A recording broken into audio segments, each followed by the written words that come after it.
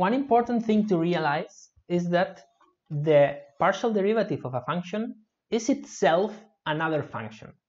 And I'm going to dedicate this video to explain this. So first, let, let me refresh what happened in one dimension. So if you have a function f of x, which is a function of x, if you calculate the derivative, the derivative is equal to the slope at each point, right?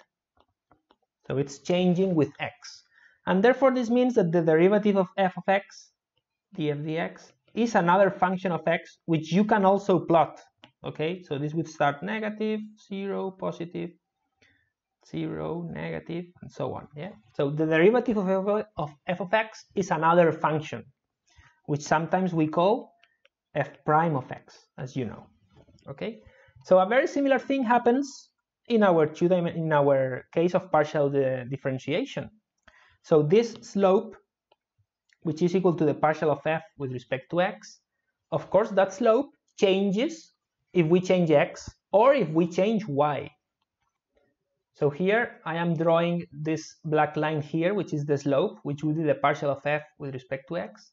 So then if we change x, that slope is changing. But also if we change y, the slope is also changing okay? So the partial of f with respect to x depends on both x and y. Therefore, we could write that the partial of f with respect to x is a function of x and y. And we usually call this function f subscript x. And it's a function of x and y. Okay? The partial of f with respect to y is a function which we call f subscript y, and it is a function of x and y. Okay, so this is an alternative notation, similarly to how in one dimension we use f prime to talk about the derivative.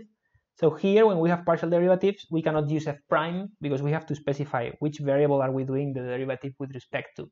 So we use the subscript with the variable there, fx or fy. Okay, but the important point is that they are both functions of x and y, the same as the original f was a function of x and y. Okay? So thanks for watching. See you in the next video.